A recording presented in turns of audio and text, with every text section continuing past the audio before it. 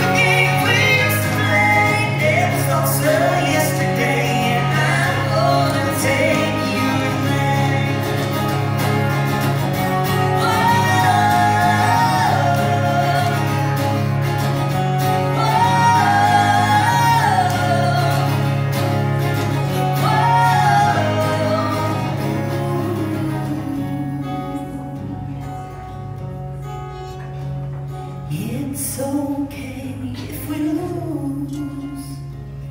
Bask on.